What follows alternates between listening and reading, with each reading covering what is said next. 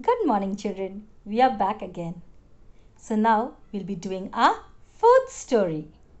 And which is a storybook? Let me show it to you. Yes, Wake Up Pari. So today we'll be doing it in three parts. First part, we'll be seeing the pictures and predicting and thinking what the story is about. Next, we'll be reading the story. And then in the third part, we'll be answering questions from the story. You know, we can do what? We can watch it as per our convenience. Yes, children?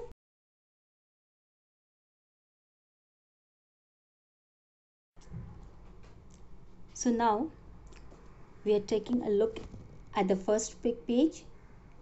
Where do you think this girl is? Yes? She's in between flowers and what is the different color that you can see in this picture? It's very bright i can know i know that. Yes yellow blue red purple black green brown. So we can see lovely colors out here. Right children as we move to the next page. Yes. Now, who do you think the other person in the picture is? Yes, who do you think? Hmm. They're looking at each other. Yes, he's carrying that small girl. Yes, he looks like a big giant, right? A very big giant. Yes? Now, do you think they are friends? Yes, of course, they are friends, right? Next page, tell me where or what are they looking at? Yes, you can see the June calendar Yes, they are looking at this June calendar. Right? Now moving on to the next page. Oh, this big giant, what is his name? We don't know yet. What is he doing?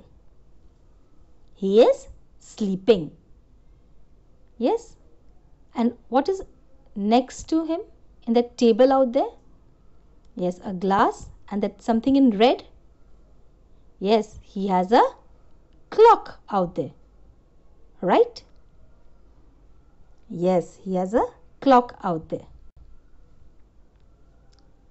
Now, what is this girl trying to do? She's trying to fly in the sky. Yes.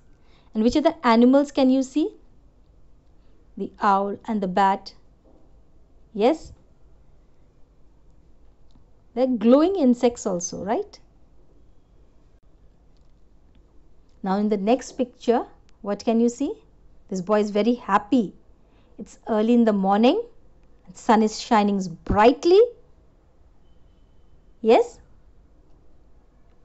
And he is just enjoying himself getting up. Yes, what can you see here? Yes, he is getting ready. He's worn his uniform. What is there in his bag? Oh, yes, books are there, right? Is he looking neat and tidy? Yes, of course, he's looking very neat and tidy.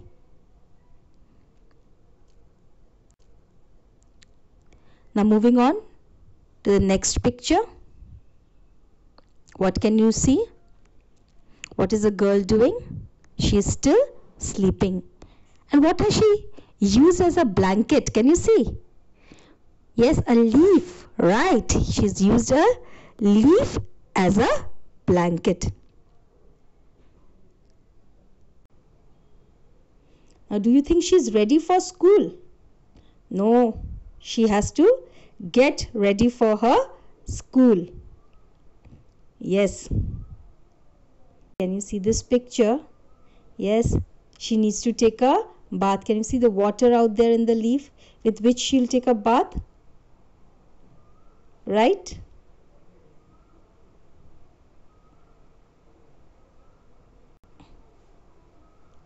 Yes, she needs to brush her teeth also. Yes, do we brush our teeth early in the morning every day?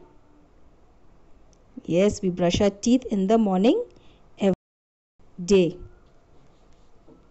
And why is it important to brush your teeth? So that no germs come into our mouth and we stay healthy.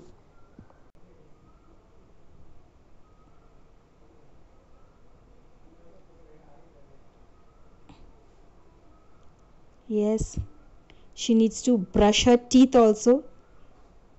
Yes, do we brush our teeth early in the morning every day?